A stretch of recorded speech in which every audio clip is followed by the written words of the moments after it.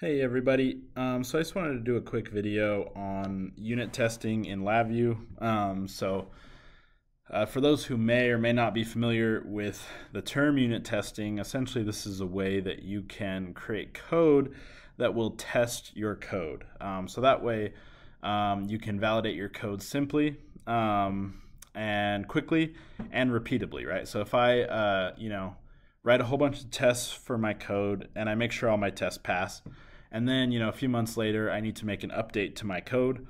Um, i can rerun those same tests after i've made my update and make sure that when i was changing stuff i didn't break anything previously. Um, so it's a good way to prove a that your code works like it's supposed to um, but also uh, yeah a good just check right? Um, and there's a whole bunch of different you know philosophies and methodologies behind unit testing um, I think kind of in the the LabVIEW world, um, Sam Taggart, um, he's really kind of championed. I feel like a lot of that stuff, um, and he has some really really good content um, on this topic. So if you're interested in learning more about uh, uh, unit testing and you know test uh, test driven development in general, um, he's an awesome resource. He has a lot of videos on YouTube, um, on his website. Um, he's also got all sorts of blog posts and stuff about it as well. And I'm pretty sure he's reviewed just about every way you can unit test code in LabVIEW, all the different tools that are out there. Um, so yeah, really good resource. Um, he's, I would say, one of the gurus of this. Um, so yeah, definitely check him out. and then if you need help with unit testing too, I know he also uh, uh, does you know consulting. So you know if you needed help figuring some of this stuff out, he's there as well. Um, yeah. Um, so like I mentioned, there's a whole bunch of different tools in LabVIEW for unit testing. Um, there's not necessarily a right or wrong with any of the tools. Um, you know, a lot of it's preference. Um, so yeah, I would find the one you like and that you feel like fits best into your workflows and makes sense to you, and I would stick with that. Um, but and there's pros and cons to all of them. Um, but for this video, and I was going to do future videos as well on the other tools, I wanted to start with this uh, Caraya unit test framework, which is from JKI. Um, the reason I chose this one is I feel like if you've never done unit testing before, this is the easiest one to figure out. Um, setting up the test is really simple, um, it, you know, and it's pretty straightforward. Um, there are also um, a few other tools out there. So VI Tester is another one. Oops. Oh, sorry. I have it set to uh, install. That's why nothing's coming up. Um, so yeah, there's uh, this uh, VI Tester from JKI Labs. This one works great. I'll do a separate video on this one um, as well. Um, also by JKI, like the one I'm demoing here. Um, yeah, this is another option that's really used out there. Um, L unit is another one um, here. Um, and the way that this one works is actually very similar to how VI Tester works as well. Um, there are obviously are differences, but um, just the general workflow of setting up unit tests is, is similar to me. Um, so yeah, L unit is another one. There also is one uh, that kind of that NI has made. I believe it's called the Unit Test Toolkit, um, which is kind of cool. But yeah, I'll do a video on all of these in the future so you can compare and kind of see the differences. But also, like I said, I'm pretty sure Sam Taggart has reviewed all of these. Um, and he's much better at this than I am. So uh, you definitely can check out his stuff, and um, you know if you're uh, trying to uh, decide what to do. But yeah, like I said, I think Caraya is the simplest unit test toolkit.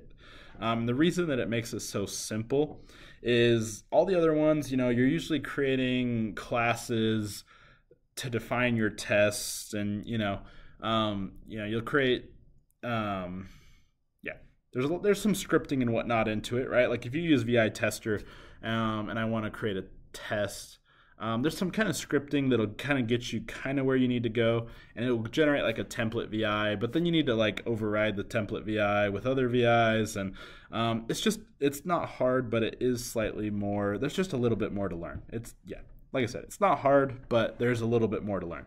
Caraya is super simple, and that I'm basically just creating a test and then adding assertions to that. So, for example, I can drop this define test function here, and I need to just give it a name. So I'm just going to call it demo test. Um, and from there, I have just a whole list of assertions. So I'm going to drop this down. And you can see I have, you know, a true false assertion, a, bunch of different compare assertions, um, and also errors. So for example, let's just start with true. So um, it's gonna, it's looking for me to pass in a true.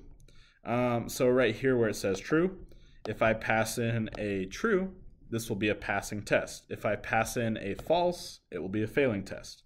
So I can drop this assertion in and then I can put my code that I'm unit testing before it.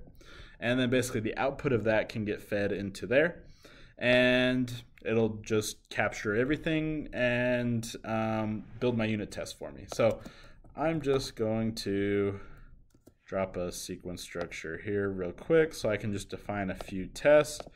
Um, and I want to make sure that that runs first. So let's um, run both of these. And on the top, it asks for a label. So this is important. We will want to define each test. So you can kind of label that however you want. Um, so I can call this something like expecting, you know, uh, you know, maybe, yeah, demo.vi. Not that I actually have a VI there. I'm just going to leave the constant.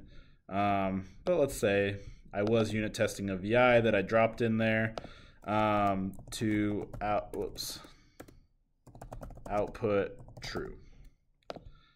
Um, and I can, yeah, add another case, you know, oops, I'm just struggling right now. Um, yeah, let's delete that I, and, oh, that's where my I went, I guess. And we'll call this one demo 2, all right? So, yeah, just creating labels so I know what the tests are. So, um, that way, uh, you know, when I and I'll show you, it'll pop up a little GUI so I can see what passed and what failed and whatnot. Um, so this helps me identify what I'm testing, and also I think it's helpful to include what you're expecting there, so you know. Um, you know, in this case, it's just true false, which is kind of obvious. But if I were to create an assertion with a comparison, um, there's stuff like you know be greater than, be less than, or like almost equal, right? Or be the same value or the same type or you know stuff like that. So um, it can get a little bit more com- uh, complicated than just like a true false. Or I mean the error ones I feel like are pretty straightforward, right? Either you're expecting a function to error or you're expecting a function not to error. So, you know, depending on the, the test you're running, then, you know, I think it's helpful too to plan for both, right? If there's a scenario which you know should cause an error, I think it's good to create a test to show that you are actually generating the error when you expect to. Um, so yeah, um, yeah, let's say, um, yeah, let's say, you know, expecting value to be greater than, I don't know, uh, 0.7. And connect that. Um, and you can see there it wants a variance. So it's asking to actually wire in that value. So um, let's just do random number and pass that in. Um, so yeah, I've defined three tests now. It's really pretty quick, right? I just drop my assertions.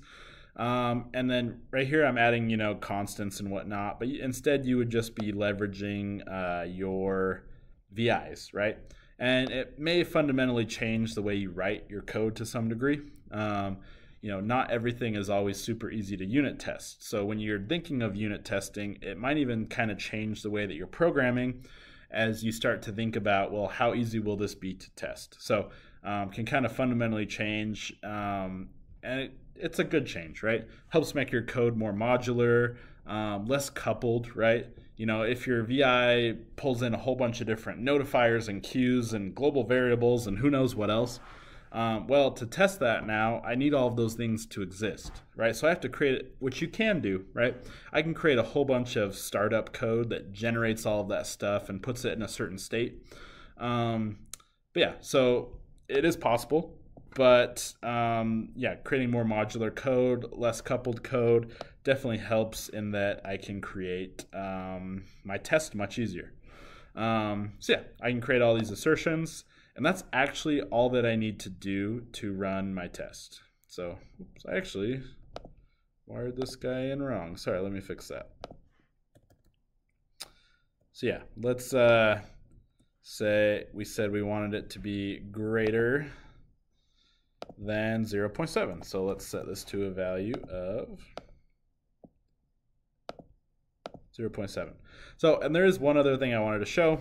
There is this register with caller test. So what this allows you to do is you can create like my, you know, kind of main test. And then in that, I can create sub VIs that wrap other tests. And in my report, it actually is going to generate like a tree hierarchy that shows, you know, uh, you know, it'll group everything and and its children and on and on and on down. So I can create like a hey, you know, maybe a test for my whole project, and then in each there in that test, I can create kind of subgroups that are like maybe specific modules or specific components, and then it, kind of below all of those, I can create additional tests for each you know specific VI that I'm testing and whatnot. So you can get really fancy um, if you want to do that. Yeah, you just need to make sure you check that uh, register with caller so that you know the sub VI will basically register with the VI that was calling it, and you'll get all of that info in your reports. Um, and then there is uh, this error code, and it also tracks execution time. So it's going to say how long did this take to execute which can be useful for like benchmarking. Um, and yeah, so let's run this. Um, and we got this error and we got that error. So um, we can see we get this little pop-up that shows, um, well, we failed our demo test test, right? We were expecting demo VI to output true, and it didn't. We were also expecting the value to be greater than 0.7, and it was not. Although our demo 2 was true. And one really cool thing with this is I can click that, and it will show me exactly where in the code that was. Which, you know, for this example, it's not really all that helpful. But when you're testing a very large scale thing that maybe has VIs that call, you know, VIs and you have things layers and layers down, um, yeah, being able to just click this and boom, it takes you right to it can be really helpful. So I can say, hey, either A, is my test setup wrong?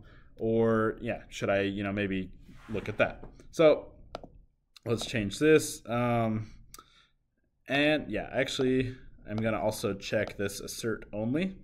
Um, so if you noticed, uh, I have automatic error handling enabled on this, which I shouldn't. I just, sorry, it's a new machine, so it's enabled.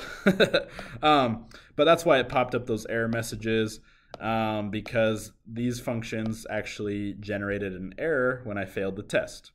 If I set it to assert only, it will just let me know whether it passed or failed and not generate an error. So um, let's uh, look at some of this stuff. So if you notice, if I go to action, there is a rerun all test.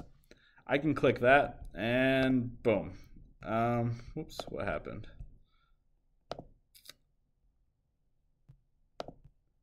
What's what is going on? Oh, sorry. assert only is messing it up. Sorry, I actually had that backwards. The assert only is passing out the error. Um, so yeah, let's run this and we're off to the races. So ignore the automatic error handling. Um, but yeah, so now this test that was failing is passing. Um, and yeah, I can run this, you know, over and over and over again. Um, obviously, my one is generating a random number, so um, you know, not a repeatable test by any means, but let's force it to pass. So I'm going to say greater than negative one. Um, so let's rerun this, and you can see now I get a pass because all of my tests passed. So I can go here, I can rerun my tests um, over and over again. I can adjust things till I get it how I want. Um, and the cool thing is I can just save this as a VI. So now I have like a test VI, and I can have as many of those as I want. Um, and then as I update my code, I can just rerun this and make sure I didn't break anything, and I can add new tests for things, new things that I need to test. Um, another cool thing you can do is you can export the test results, so it supports just like a text file, but it also can do like a JUnit XML report. Um, and if you go to report here, you can see what that text file looks like. Uh, basically, you have your top level. This is the test that I ran. And then these are the specific tests and the messages that they output and whether they passed or failed. So, um, yeah, it can be really useful in kind of just simple unit testing. It, in my opinion, it's the easiest to just get up and running with. It, there's really no learning curve, right? You're you're just creating a VI, defining a test, and then adding all of your assertions. So you definitely can get fancier. So there are a whole bunch of different uh, you know you can create test suites that will generate you know kind of custom reports. You can create your own custom runners. Um, there's a command line interface you can use to um, execute these tests over the command line. If you're using like a maybe like a gitlab runner or something to do automated tests. Um, and they have you know some pretty good examples. Um, so yeah there's a you know for example and this actually highlights um, they created sub VIs for their tests. So they created this uh, you know test that's called test integer dictionary, and then inside of there they created a separate VI, and that's called you know read write dictionary. Um, and so that way these can also run tests, and it's all kind of under the parent. So you go run this, and boom, you can see the test empty dictionary all passed, but read write dictionary failed. So, and I can filter that if I want, and I can show only failures. Um, so yeah, um, but yeah, that would be uh, using Caraya. So kind of intro, right? You can definitely go far deeper than I've showed here, um, but it's up to you, right? If you're if you've never used unit testing in LabVIEW before or any you know any programming language, right? I think this is the quickest way to get up and working because it's very simple. Um, you don't really have to learn much. You kind of just drop some functions and you're off to the races, and it's still effective and it's still powerful. So I think Caraya is a really really cool tool. Um, I'm going to do some videos in the future on some of those other tools. So if you're interested in like LUnit or VI Tester um, and the NI toolkit as well, um, I will have some videos on that. Um, but yeah, that would be kind of your intro to uh, unit testing in LabVIEW. Thanks for watching. Cannon Controls is your gateway to mastering LabVIEW. Dive into programming for data acquisition, industrial communications, and manufacturing automation. Explore how to enhance your projects with cybersecurity best practices. Join the journey to elevate your skills and secure your systems with every episode.